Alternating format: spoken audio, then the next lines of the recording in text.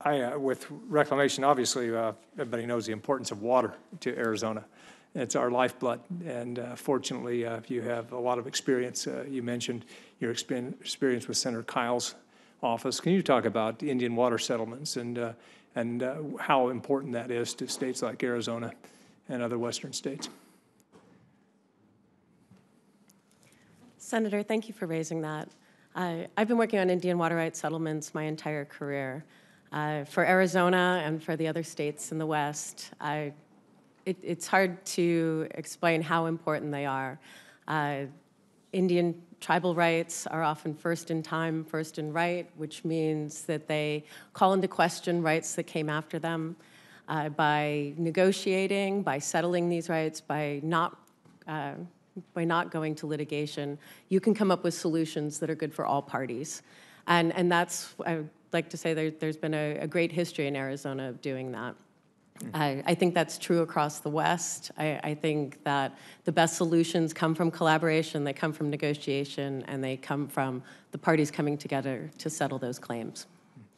Well, I can tell you, um, as a senator following Senator Kyl, it's a bit daunting, uh, given the work that he's done on, on water, and in particular with these uh, Indian water settlements, as you say, are vital because it gives some kind of certainty and surety moving ahead for uh, not just the, the tribes involved, but other, other water users as well. Um, obviously, the, the, uh, Colorado River is extremely important to Arizona, all the lower basin, and upper basin as well. Um, Can you talk about uh, what needs are there with regard to the Colorado River uh, going ahead that reclamation is going to be vital to? Uh, the Colorado River, as you said, is the lifeblood to Arizona, but also to seven basin states and to the country of Mexico. Uh, I'll be working with Secretary Zinke if confirmed, to prioritize our work on the Colorado River. The Secretary has a very special role under the 1928 Boulder Canyon Project Act as the water master of the lower basin. Uh, there are issues right on the table. There's an agreement with Mexico that expires this year. I, I'll work with Secretary Zinke, if confirmed, uh, to work on reaching agreement with Mexico uh, before the end of the year, if at all possible. The states have been working together to address drought and possible upcoming shortages. They are working hard right now. I, I hope to be confirmed swiftly and to work work with them and to step into the Bureau of Reclamation and to see what we can accomplish as quickly as possible. There's a drought contingency plan uh, being worked out now, I understand. What, uh, how will you, uh, what role will you play there? As the, uh, as, as con- if confirmed, as the lead of reclamation, I'll be Secretary Zinke's prime advisor on working with the basin states in Mexico on coming to agreement on a drought contingency plan.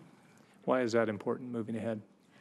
Uh, the lower basin and the upper basin are, are, looking at shortage. There's been 18 years of shortage on the Colorado River. And so the upper basin states have been working together to try and shore up to make sure that they can keep critical elevations in Lake Powell, while the lower basin states have been working together and with Mexico to make sure that they can maintain critical elevations in Lake Mead. Uh, looking ahead and looking at shortage, this is a way to prevent the system from, uh, some would say, you know, collapsing.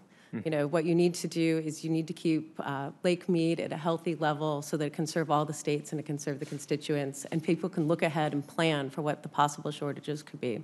Uh, there's a lot of commitments on the table. I am not part of those discussions right now, and I haven't been.